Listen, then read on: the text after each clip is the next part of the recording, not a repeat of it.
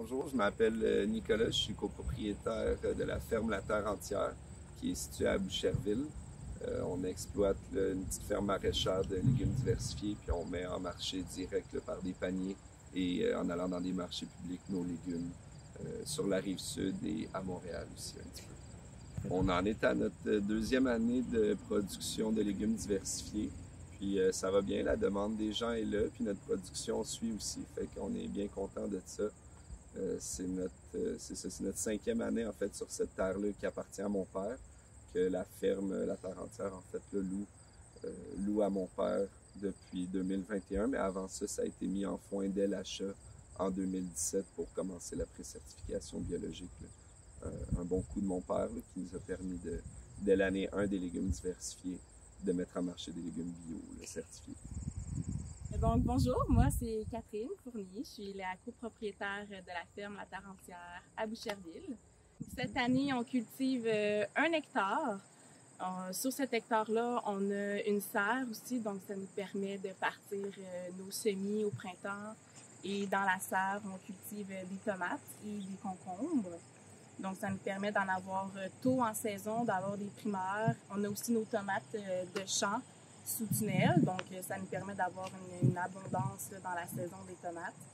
Euh, donc cette année, on a un hectare. L'année dernière, on était un peu moins d'un hectare. On n'a pas grandi vraiment en superficie, mais on a plus euh, densifié nos cultures. Donc vraiment avoir une meilleure rentabilité par espace, par planche permanente. cette année, on a grandi aussi notre équipe pour pouvoir répondre à la demande.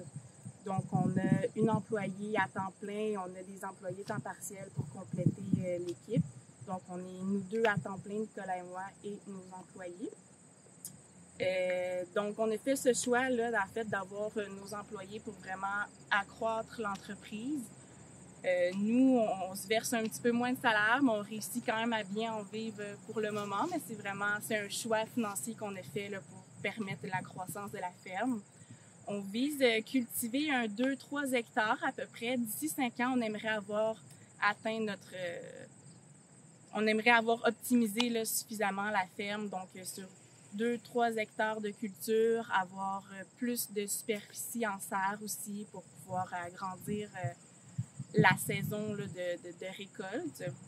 Donc, c'est sûr que l'accès à la terre, c'est le premier défi pour les jeunes pour se, se démarrer une entreprise maraîchère on a su par la chance en fait un peu passer ce défi-là. Mais sinon, c'est euh, je pense de trouver de la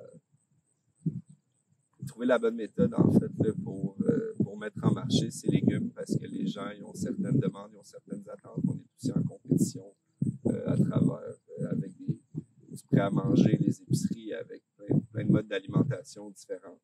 Fait que c'est ça, c'est trouver la bonne manière, les bons les bons endroits où mettre en marché nos légumes. Ça, c'est un, défi, puis ensuite de faire suivre la production. Mais euh,